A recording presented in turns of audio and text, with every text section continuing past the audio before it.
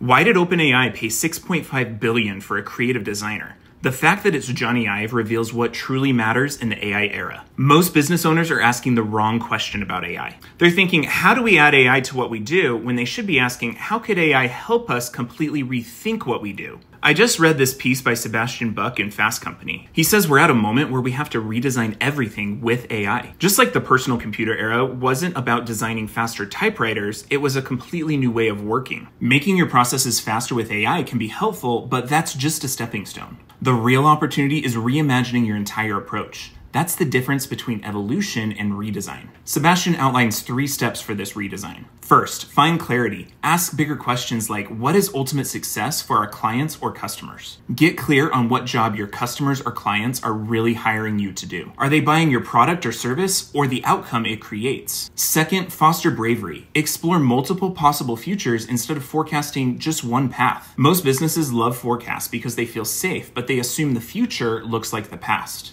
Third, connect emotionally. Bring your team and customers or clients along. Don't just implement tech. Too often, the people who know how to connect emotionally, marketers, artists, and designers, are heard only after critical decisions are made. This is where your human intelligence or HI becomes critical. Your strategic thinking and creativity guides this redesign process. Getting clear on these fundamentals is exactly what I work with my clients on before we touch any AI tools. That's why OpenAI values Jony Ive. It's the emotion and heart he brings to designing products. Think about what Ive does. He doesn't just improve existing products, he completely reimagines how humans interact with technology.